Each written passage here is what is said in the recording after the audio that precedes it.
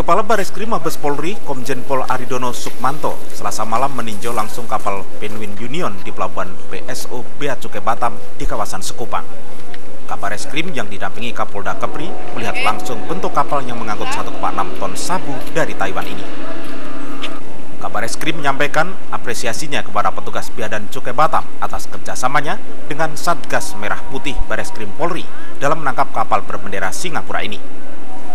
Haridono juga meminta semua pihak untuk benar-benar siaga di segala penjuru dalam memberantas peredaran gelap narkoba di wilayah Indonesia. apa ini? Yang paling pertama utama apresiasi kepada seluruh tim ya, baik itu bea cukai maupun Polri yang di lapangan. Termasuk yang di tidak ada di lapangan, tapi tim analisnya mungkin ada dari semua ini, ya kan? Kemudian kerjasama tentunya masyarakat, ya nggak ada langsung pasti ada masyarakatnya yang nyampaikan kepada kita.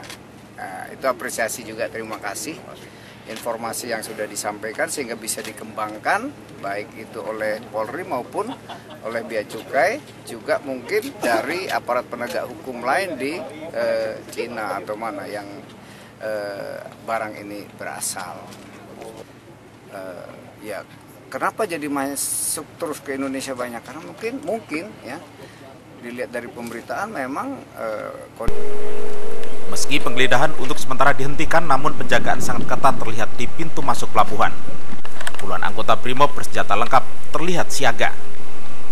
Penggeledahan akan kembali dilakukan pada Rabu pagi. Petugas menduga masih ada narkoba disimpan dalam kapal tidak berdokumen ini. Gusti Yunusa, iNews memberitakan.